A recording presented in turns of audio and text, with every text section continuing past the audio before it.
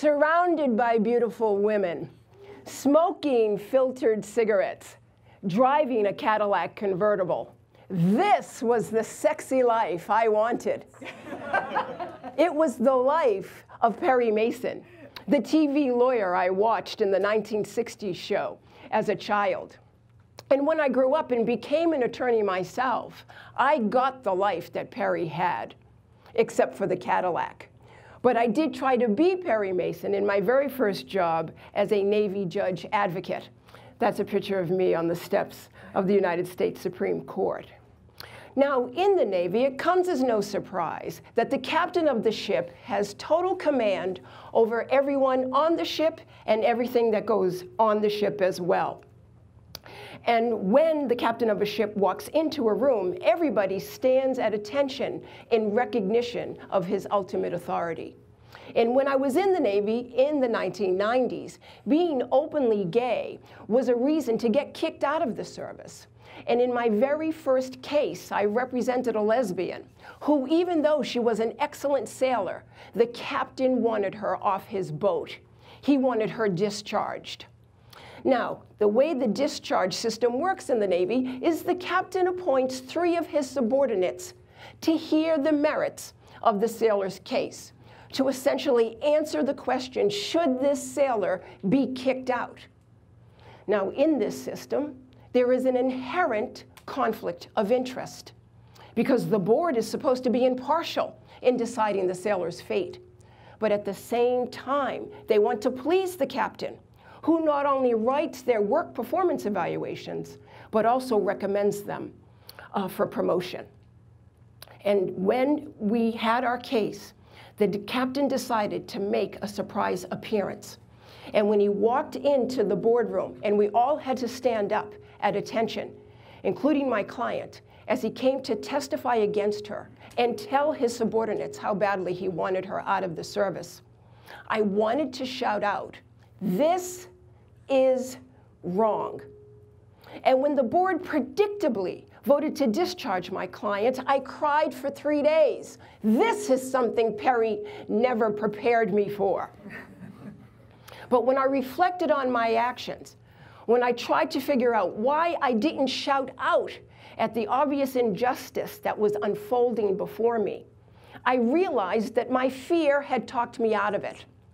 And when I reflected on what could I do perhaps to make courage a reflex, I thought, could I teach myself to make it an automatic response?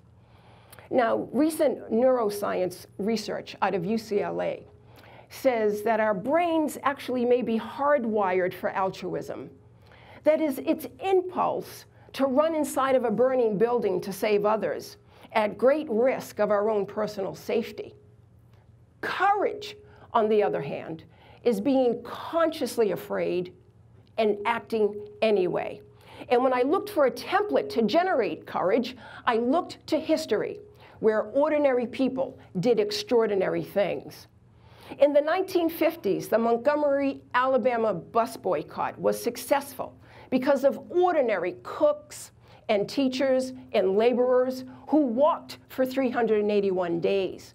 But those small steps toward racial integration, 60 years hence, is the reason that we got our first African American president. In the 1960s, in the face of relentless harassment by the New York City police, ordinary drag queens fought back in a bar named Stonewall, sparking the gay liberation movement. And then 50 years hence, the Supreme Court ruled same-sex marriage legal in all 50 states, and we can all witness our trans brothers and sisters winning national awards of recognition today. In the 1970s, we saw women, ordinary women, demanding equal treatment and opportunity both inside and outside the home and their collective voices 40 years hence gives us the first woman presidential nominee of a major political party. The common denominator in these successful social justice movements is that ordinary people, like you and me, minimizing our fears to maximize our commitment to a goal larger than ourselves. And it's with great pleasure that I'm here today to share with you at TEDx Harrisburg three suggestions to make courage your habit, especially when speaking out on the issues of race, gender, and sexual identity. Now, you actually do not need to have anything in common with people in order to join their movement for social justice. But it does help to be an effective advocate if you are authentic. So step number one in making courage your habit is to surround yourself with diversity, such as these balloons. We call this sitting at a different lunch table. Now, earlier this year, I was speaking to a great group of seventh graders in Bettendorf, Iowa. And I was telling them that they could be the change they wanted to see in society today if they would take action, if they went to lunch and sat at a new table uh, with people who were different from them in order to make new friends. And I could tell from the look on their faces. I should have just said, Will you all please just go to Mars for lunch and bring me back some french fries? it's the same look that adults have when they're a minority in a new social setting. The questions you ask Will I be liked? Will I be accepted? Will I get the inside jokes? It's the questions that you only can answer by taking direct action and doing it. So stretch yourself, make a choice, go beyond your level of comfort. Go to a black church and attend a Juneteenth celebration. Go ahead, attend a gay pride parade. Speak at a women's history event. Whatever you do to create social justice, you actually have to do it. So play musical chairs at your lunch table or dive into the ocean of diversity. Believe me, you won't regret it. Step number two in generating courage and making courage your habit is that you have to be passionate about justice. Now, really, how do you go about that? When I talk to first year law students and I ask them, how would you approach defending the worst among us, those who harm the defenseless? Many of the students say, oh, I could do that because everybody deserves a defense. And I quickly challenge these students and say, really? Is that the type of generic defense that you would want your loved ones to receive? And virtually unanimously, they all reply, absolutely not. So how is it that we can bridge the divide between indifference to passion? And the answer is, is you have to find in your heart some emotional hook for what justice means to you. So for an example, when I was a criminal defense attorney, and this is a picture that my son drew of me in court when, I, when he was nine years old. I always thought of myself as a line of defense between the people and government overreach. And regardless of the case before me, I got my emotional juice in my heart by constantly challenging the government. How dare you lock up innocent people for 10, 20, 30 years?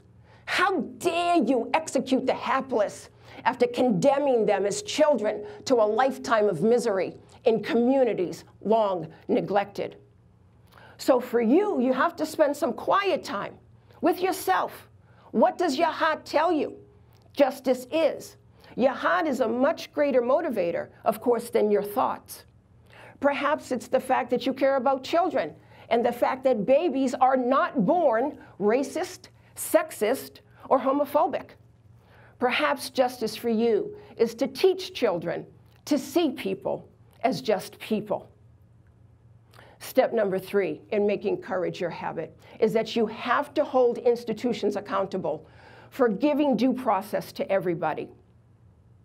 Now, studies show that people involved in the legal system can accept the outcome of a case, good or bad, as long as they feel that the process treated them fairly.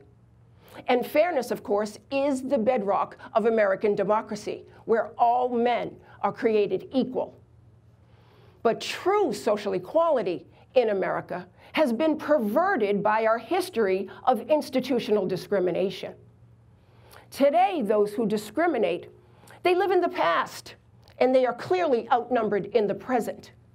But it is incumbent upon us to hold our institutions accountable, our schools, our houses of worship, our elected officials, to root out those who would discriminate, to ensure that everybody gets due process under the law and is treated fairly. And should you do that, you will give voice to those who may not otherwise have one. Your decision to speak out for social justice will define the rest of your life. Start small, start today, stay patient, write a letter, meet a new friend, speak out at work. One person can change the world, and you are that person. And should we join together in the fight for equality, it will be a fight that we will win.